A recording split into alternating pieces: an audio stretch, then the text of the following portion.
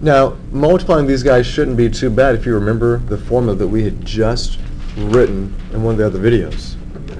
Remember that these guys, the way that they are written, happen to fall into the formula that would give us the difference of two squares. Right? Yes. So, according to that, it would be the square root of 93 squared minus what?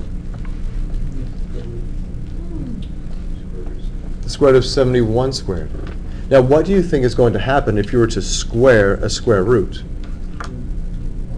The world would blow up. Those guys basically cancel each other out. They're inverse operations for the most part when you have a restricted domain of just positive values. So that guy's also going to reduce away. So what do you really have here? Ninety-three minus seventy-one. You have 93 minus 71, which is just what? That's just 22. Right?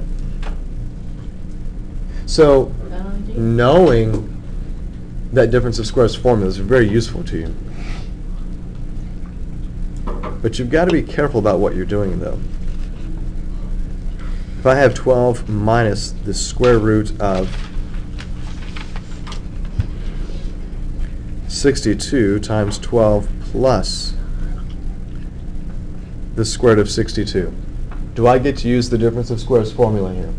No, no, because one has the, oh. Remember, you have to look for what we call conjugates. Are the first terms the same? Yes. Are the second terms the same except for a sign? Yeah. Then that falls into this formula that we have here for the difference of squares. Which means when I write this, you want to make sure that you do write the formula correctly.